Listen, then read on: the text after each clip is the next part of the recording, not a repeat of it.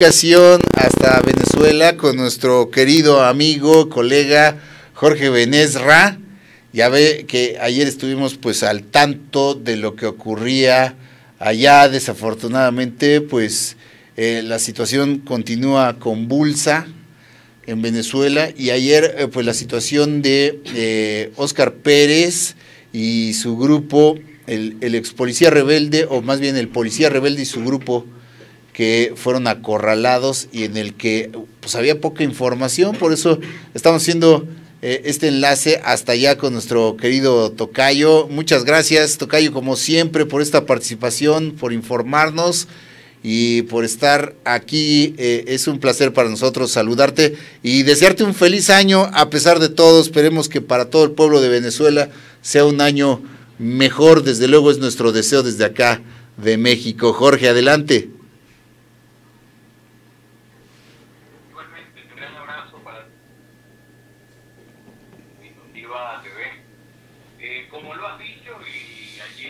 Escucha. durante tempranas horas de la mañana, no solamente en Venezuela, sino en todas partes del mundo donde Venezuela ya era era, obviamente estaba en las redes sociales como uno de los pocos de informativos de mayor circulación. El caso de este policía Arrese, eh, Oscar.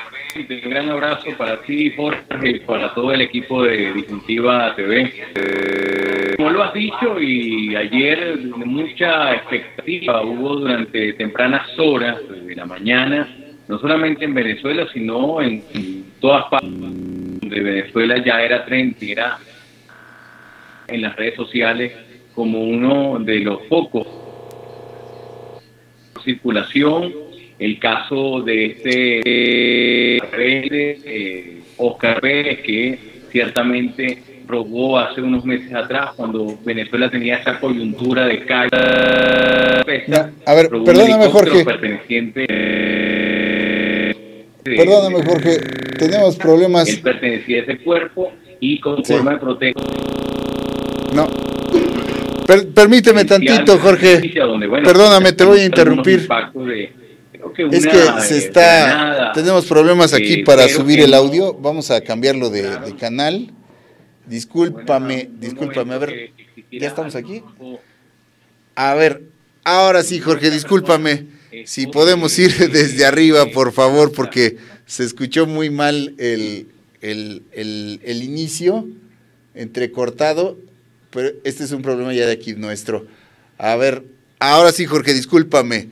Decíamos, nos mantuvimos ayer todo el día en la expectativa. ¿Cuál es ahorita la situación? Nos explicabas. Adelante. mencionaba el día de ayer noticia Venezuela caso policía que meses atrás había robado un helicóptero del cuerpo piloto y con forma de protesta con de una de protesta contra el presidente Nicolás Maduro y bueno también accionó una, una granada para en donde por suerte no hubo víctimas que lamentar. Sin embargo, esta persona se mantuvo fugitiva y fue como que reuniendo otras personas que se unieron a su causa en algunos momentos reapareció en la opinión pública a través de las redes sociales, a través de sus redes sociales que incluso ya eran bastante populares y seguidas.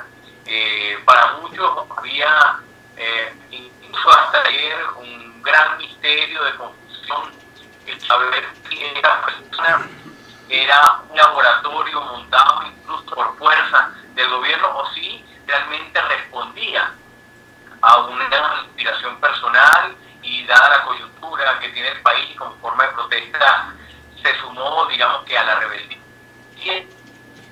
humanos para buscar otros caminos en este momento que atraviesa el país. Bueno, ayer eh, todo el mundo lo vio, hubo un cercado en una zona cercana, aledaña a la capital, eh, hacia el oeste de la capital. Allí él y su grupo fueron cercados por fuerzas especiales. Eh, dicen y comentan eh, periodistas que estaban en el lugar que pudieron acceder hasta cierto punto porque también se les impidió a la prensa poder hacer una total cercana eh, sobre lo que estaba ocurriendo, que era una gran cantidad de hombres. Eh, vimos videos en vivo eh, de este personaje siendo atacado, queriéndose rendir, que es lo que a uno, es lo que uno presenció, que es lo que uno vio a través de redes sociales, pero aparentemente no hubo esa pausa, esa pausa para, para llegar a un acuerdo estas personas que estaban siendo buscadas por el Estado venezolano fueran aprendidas y por supuesto procesadas por los tribunales pertinentes y por la ley venezolana. Eh, la excusa que da la fuerza pública venezolana es que bueno, ellos simplemente no quisieron negociar, siguieron atacando a las fuerzas policiales y se les tuvo que dar de baja. Organizaciones no gubernamentales eh, pro derechos humanos han salido a la cabeza de, de todo esto que está ocurriendo en el país y diciendo que esto fue un ajusticiamiento eh, eh, en manos de, digamos, con un procedimiento no adecuado. Estamos hablando de que así como en el pasado, eh, incluso a otros individuos, delincuentes, asaltantes, se les ha dado la oportunidad de negociar, en este caso no se les habría dado esta oportunidad de negociar. De manera que, bueno, la opinión pública, y lo pueden ver ustedes a través de las redes sociales, está muy dividida por supuesto que esto va a marcar un antes y un después, sin embargo, quedan muchas interrogantes en este momento, Jorge. Así es, Jorge, se hacía el comparativo incluso con el propio intento de golpe de Estado que lanzó el propio Hugo Chávez, que decía que a él y a sus hombres sí se les había dado la oportunidad en su momento de rendirse, y en cambio a Oscar Pérez y, y sus hombres eh, no se les dio esta oportunidad y, fue como se dijo en ocasiones anteriores, tú me corregirás que Nicolás Maduro había dado la orden de responder con plomo a otros ataques que se han dado a cuarteles eh, de, de, la, de las fuerzas bolivarianas y al parecer esta fue también la orden en este caso. Se confirma entonces que Oscar Pérez eh, murió, fue abatido junto con varios de sus hombres, aunque me parece que el presidente Maduro, que afirma que Pérez preparaba un atentado con coche bomba, una embajada, eh, hubo algunos eh, detenidos o esto no se confirma, Jorge. Bueno, como te dice, como te he dicho antes, la información ha sido muy hermética, incluso ayer cuando se conoció de esta noticia, quien asume las riendas de la vocería sobre lo que estaba ocurriendo, esperaríamos que, eh, hubiese sido el Ministerio de Interior y Justicia y no, eh, digamos, un operador político del partido de gobierno. En este caso, quien salió al trote a dar declaraciones sobre lo que estaba ocurriendo es Diosdado Cabello, que es ante la cabeza responsable del Partido Socialista Unido de Venezuela, más no es ningún ya, en este caso, pertinente, eh, como puede ser el Ministerio de Justicia eh, quien daría parte de, lo que ocurría. Mucho más tarde, tiempo después, fue que salió un comunicado oficial por parte del Ministerio de Justicia indicando lo que ocurría y lo que estaba pasando en ese momento. En realidad no tenemos certeza con seguridad de la baja de Oscar Pérez. Todo eh, se, señala que pero un parte oficial que muestre algún tipo de foto de, cómo, de, esta situación, este, no la tenemos. En verdad que incluso acá el cuerpo, el 6CPC, que es el cuerpo científico eh, de policía donde pertenecía Oscar Pérez, se le prohibió el ingreso a la morgue de Viramonte, es decir, a la morgue principal donde serían llevados los cadáveres, sino que por evitar un tema eh, eh, ético, incluso de que se circule información que en este momento el gobierno nacional considera pertinente. Tú decías algo interesante, porque este, si bien es cierto, la violencia contra el Estado, la violencia contra el, el buscar socavar el hilo de una democracia, como puede ser la mexicana, como puede ser la colombiana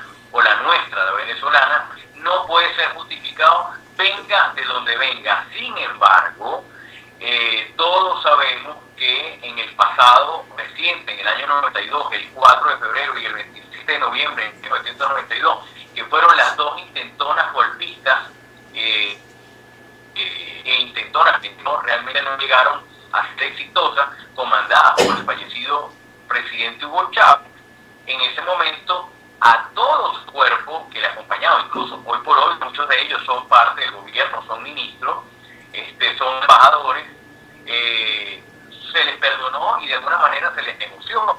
Estas personas pasaron muy poco tiempo realmente en la cárcel, sería cuestión de tres años a lo sumo, cuatro años que, el que más estaría. Eh, eh, por otro lado, se le, a pesar de que robaron parque de armas del Estado, robaron aviones y en ese momento incluso sobrevolaron Caracas, hicieron bombardeos atentando tanto con civiles como militares en ese momento pro eh, gobierno. A ellos obviamente hubo una negociación, hubo una negociación política y hubo una, de alguna manera, una concertación hasta donde le llegó el perdón. El presidente Chávez, fallecido, nunca fue procesado por golpistas, por eso llega a la, máxima, a la máxima magistratura de la República, que es la presidencia. Por lo tanto, eso es que algunos analistas y, los ciudadanos en, realidad demandado a través de las redes sociales sobre que, qué pasó que en este caso no se le permitió negociar a estas personas a pesar de que la tecnología nos permitió conocer de viva voz y en el momento que estas personas se estaban rindiendo y quería negociar y creo que uno de los últimos videos que subió fue diciendo no, no, no, no quieren negociar, simplemente vienen a matarlo. Hay dos videos que habría que ver su procedencia y si realmente eh, son parte de toda la situación que aconteció el día de ayer, bueno, que muestra a la fuerza pública venezolana, pero contra todo. O sea, es decir, eh, realmente dejaría en evidencia, si es así, este video con presunción de que se atacó de manera mm, no práctica como tú lo habría dicho el presidente de la República en días pasados, que cualquier ataque se le diera plomo a estas personas. De manera que esa es la situación que estamos viviendo, Jorge.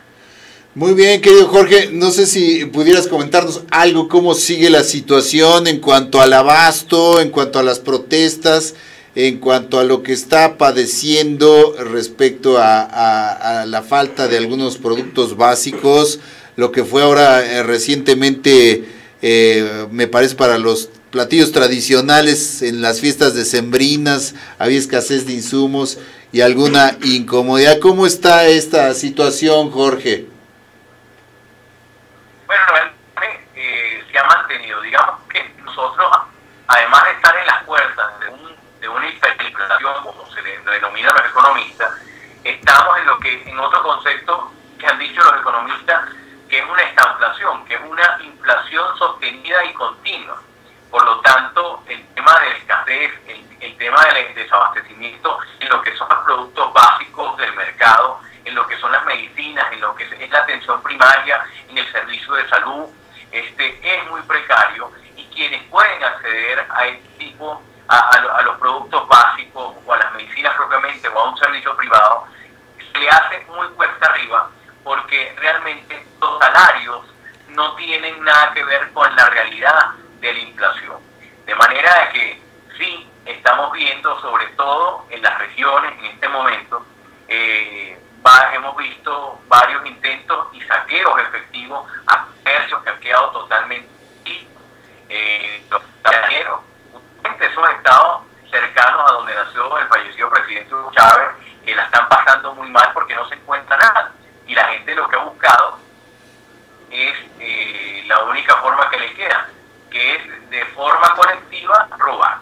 Robar de una forma justificable, bueno, allí todos sabemos que se sale de las manos porque se mete el vandalismo, el que no busca comida simplemente, sino que busca otras cosas. Y estos son escaramuzas que día a día se están dando en toda la región del país, más que en Caracas, porque digamos que Caracas es mucho más controlada por la fuerza pública pero en las regiones esto ocurre todos los días y lamentablemente no hay una información directa de lo que ocurre, ya que eh, tenemos leyes muy fuertes contra los medios de comunicación y contra el ejercicio del periodismo que impide eh, que de alguna manera esta información se dé como debería darse en otro momento del país, o sea, de una buscando realmente reflejar la realidad de lo que está aconteciendo. Pues Jorge, eh, lamentable panorama que sigue prevaleciendo allá, de verdad que eh, esperamos que pronto en Venezuela las cosas comiencen a cambiar para bien, para todos los venezolanos, para ustedes los periodistas que valientemente hacen su trabajo y por ello te agradecemos profunda y enormemente esta colaboración desde allá, Jorge. Te mandamos un abrazo todo nuestro cariño y de verdad todas nuestras buenas vibras para ti, tu familia y para todo Venezuela. Ojalá pronto podamos dar noticias diferentes desde allá, Jorge. Gracias como siempre por esta colaboración y aquí estamos también para servirte lo que eh, podamos y apoyarte, Jorge. Te mandamos un abrazo cariñoso y todo nuestro reconocimiento. Igualmente para ti, Jorge, para ti, todo tu equipo que siempre eh, está pendiente de lo que ocurre en Venezuela y aquí estaremos apoyando y colaborando en la medida de lo posible. Un abrazo también a toda tu audiencia que se conecta día a día, a día por Disyuntiva TV. Gracias, Jorge. Gracias, muy agradecidos. Un abrazote y saludos también de todo el auditorio y todo el reconocimiento a tu trabajo de parte del auditorio de Disyuntiva para ti, Jorge. Un abrazo. Gracias, estamos en contacto.